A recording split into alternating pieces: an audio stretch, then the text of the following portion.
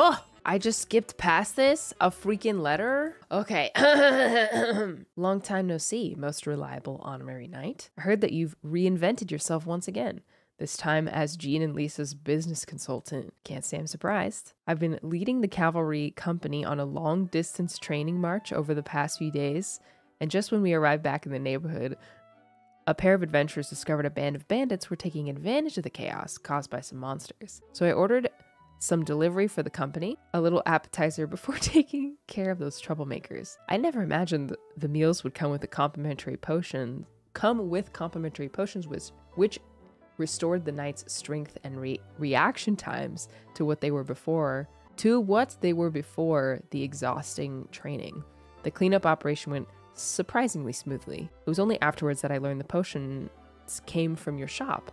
You're doing well, I see. As the cavalry captain received your assistance, I naturally must write a, this letter of thanks. Also, please accept this payment as a token of gratitude from us. I hope that we will have more opportunities for such fruitful cooperation as colleagues. Wow. Wait, so Kaeya actually went out on a cavalry march and he wrote us a letter from the field. Now the picture's in mind. Please, God, allow find my favorite Kaeya artist to read this and be inspired to draw Kaeya writing this letter to us while like on the on, on like a rock or something with his captain with horses in the background. Amen. He actually rode a horse. The cal- the cavalry's we- is real. Cavalry march. Oh wait, cavalry march because they don't have horses. you you might be right actually. I also love that he ordered takeout.